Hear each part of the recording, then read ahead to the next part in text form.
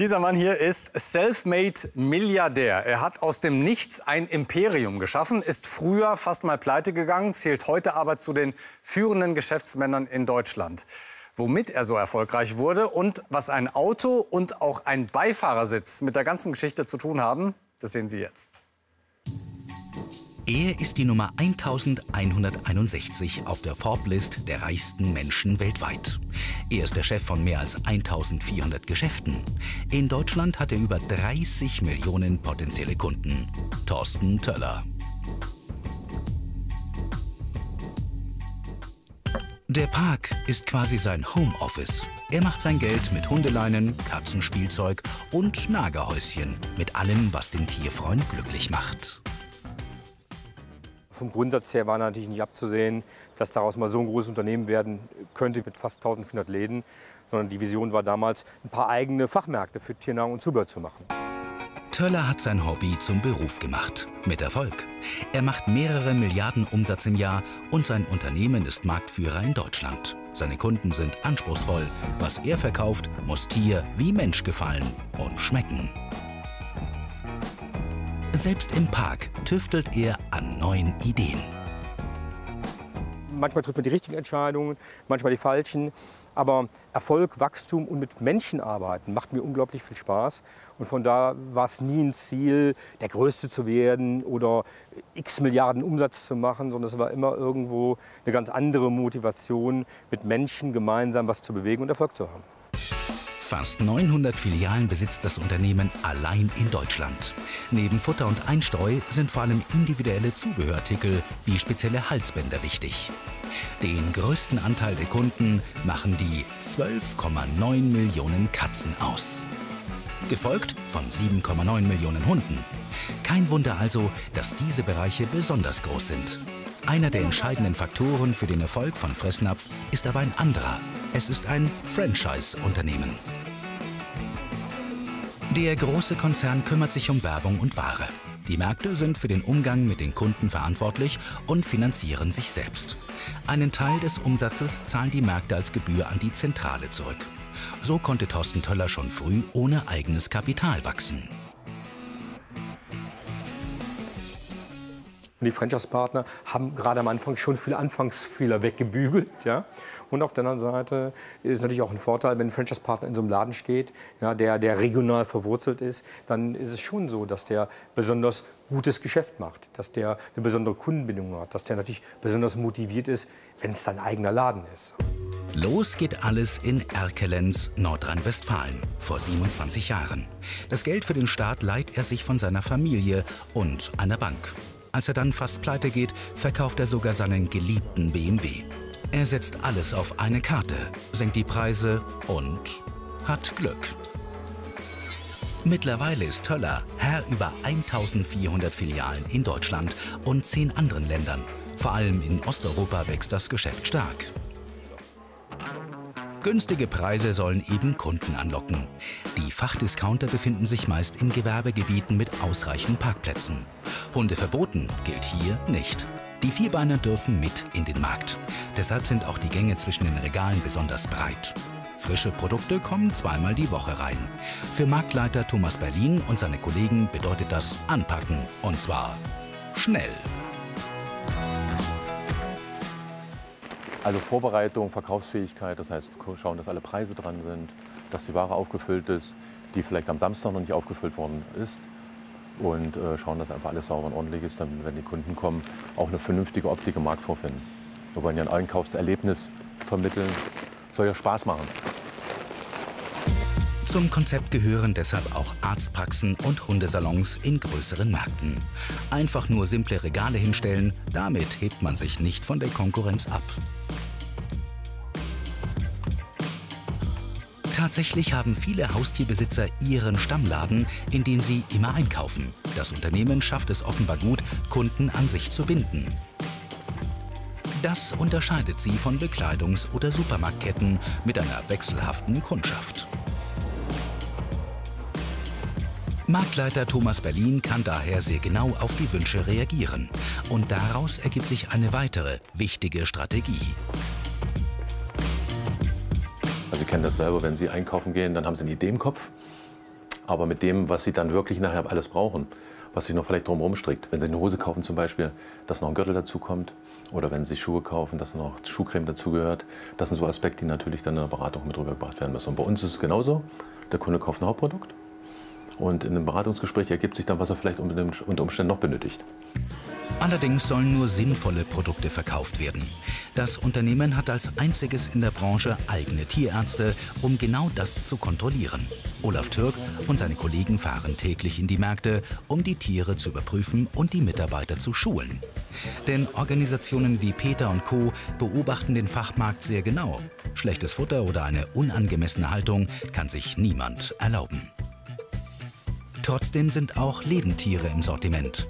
Ist das nur eine Masche, um noch mehr Kunden in den Markt zu locken?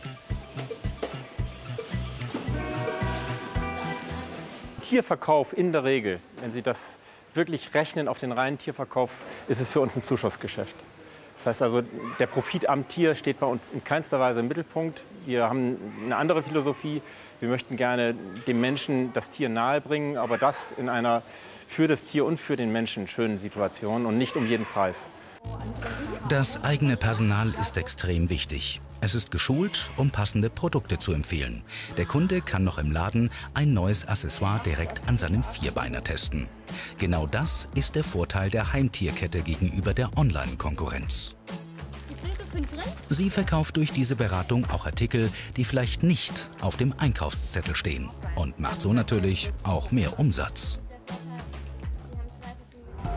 Damit das Angebot nie ausgeht, steht am Firmensitz in Krefeld Europas größter Katzenstreuhaufen. Alle Waren werden in diesem Logistikcenter gebündelt.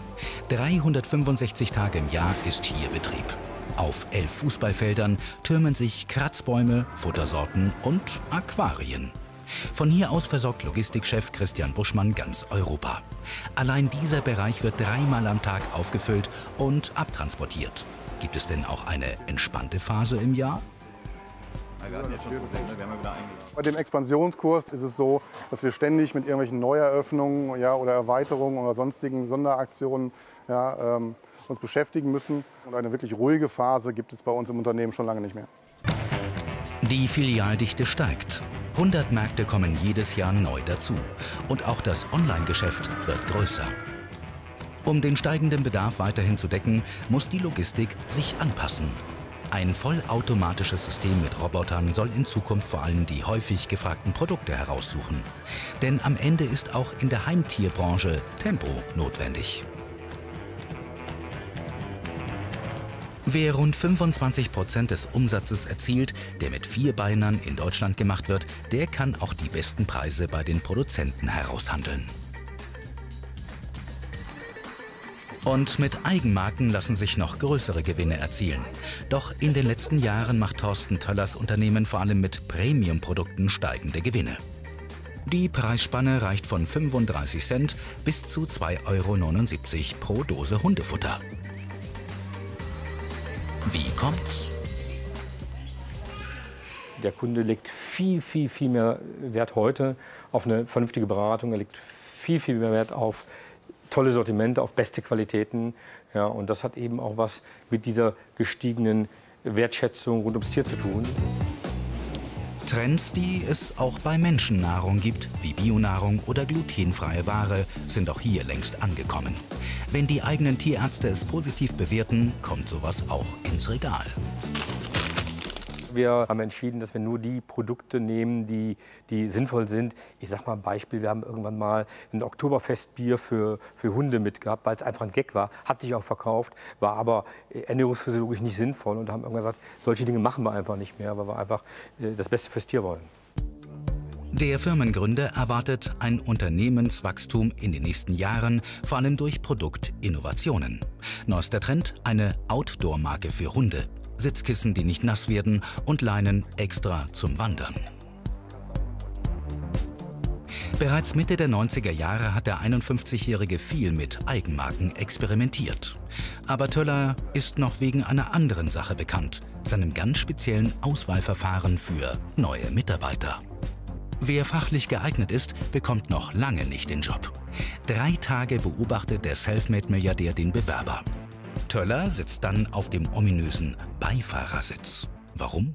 Wenn ich mir dann für wichtige Positionen Leute ansehe, dann muss ich, äh, äh, ich sag mal, die mir auch mal nicht in einer Stunde im Büro, in einer Interviewsituation äh, äh, an die Brust holen, dann muss ich mit denen in der Tat mal Auto fahren. Weil beim Autofahren verstellst du dich nicht. Ja? Fährt er zügig genug oder fährt er aggressiv oder rücksichtslos? Ich muss wissen, wie, wie lebt er zu Hause. Das heißt, ich muss mir angucken, wo wohnt der. Ich gehe auch mit denen einkaufen in den Fressnapf und dann, dann, dann merke ich, wie die sind. Ob die freundlich zu den Mitarbeitern sind, ob die zuvorkommend sind. Und das ist mir eben besonders wichtig. Der Chef begleitet die neuen Kandidaten in den Markt und zu Gesprächen mit Händlern. Privates Abendessen im Haus der Bewerber inklusive. Ob das Essen schmeckt, ist nicht entscheidend. Der Firmengründer will kein aufgesetztes Lächeln und keine starren Denkmuster, sondern kreative, motivierte Mitarbeiter. Wer Franchise-Partner werden will, muss nachweisen, dass er Ahnung von der Geschäftsführung hat. Wie sie dann die Filialen führen, entscheiden die Marktleiter größtenteils selbst.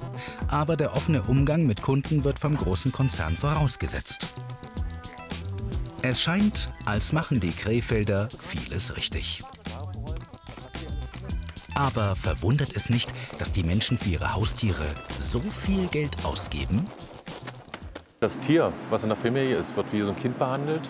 Ist also ein festes Familienmitglied. Und diejenigen, die für sich was Gutes tun, machen das natürlich für ihre Kinder und für die Tiere in dem Fall auch. Und wir haben gute Produkte und die werden halt angenommen. Krisensicher sei die Branche, sagen Experten. Steigende Gewinne gibt es weiterhin, obwohl die Zahl der Tiere nicht mehr wächst. Vielmehr liegt es am geänderten Kaufverhalten der Deutschen. Da darf es auch mal mehr kosten für die tierischen Freunde. Und vielleicht kann Thorsten Töller in Zukunft richtig entspannt über eine Hundewiese spazieren.